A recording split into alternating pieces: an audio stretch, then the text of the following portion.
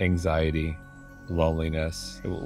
We're experiencing a mental health epidemic. You know, there, there's obviously big trauma with a big T and then little trauma with a little t. And, and, you know, being in this pandemic, you know, there's definitely collective trauma. For some, it's the little t, for others, it's the big T. But I think it's safe to say it's been difficult for most everyone.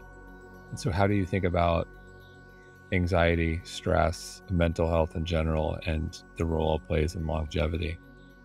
Yeah, well, it's really important getting back to the cortisol levels. Um, your brain controls your longevity. We know this. Uh, in my lab, we've manipulated mouse brains uh, to make them turn on longevity genes, and then the whole mouse is healthy.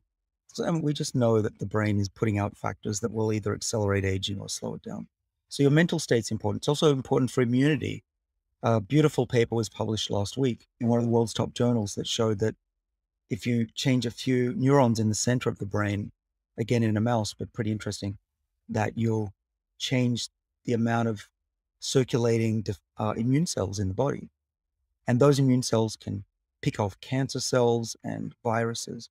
And so, you know, I used to, I, I believed that the mind could control the body, but now we just have proof that's actually working and which neurons are doing that. So, what does this all mean? It means that you should keep your stress levels down. If you can, uh, meditate. I now uh, meditate as often as I have time for. Again, Serena uh, Poon has been a good influence on me in that regard. But if you have the, the big stress, the big T, then you do need some help. And increasingly, you can go online and speak with a therapist. And you know, I've seen some really great results from particularly young people who become anxious. You know, in this day and age with social media, with school and college, and the stresses of all of that and COVID-19 on top of it.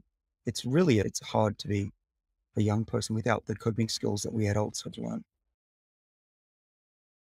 Everyone understands sleep. You need sleep. You can't run on. Is that true? Just to set the, you, you can't run on no sleep. well, you, you can, but you'll crash. Plus, it's going to accelerate aging as well. The genes that we work on, called the sirtuins, that control aging, they also control the sleep wake cycle and so those two things are totally connected. And if you disrupt your biological age, get older, you'll disrupt sleep, and sleep will disrupt longevity. So you just got to keep both of those in check in parallel because they're going to affect you.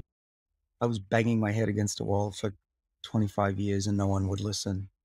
My book helped. It's sold close to a million copies around the world. So that was good.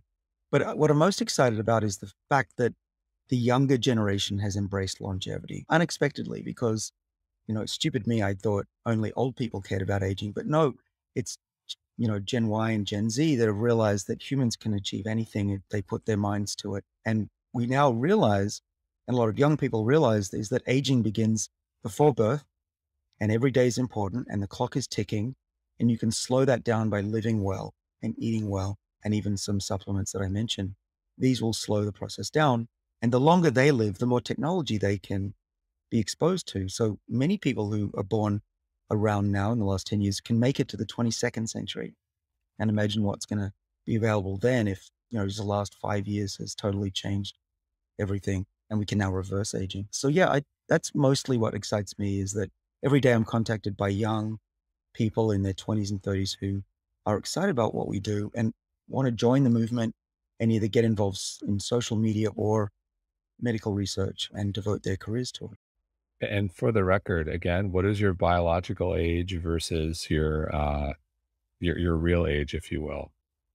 Well, I'm 52, and uh, my biological age is in my low 40s, depending on the, the measurement. But when I'm really good, then I can get it down into the low 30s. But yeah, right now, my blood biochemistry, if, it, if you looked at it, you'd say, and you didn't know me, you'd say I'm in my early 40s. You know, I'm still waiting for that gray hair to appear. So, so far, so good.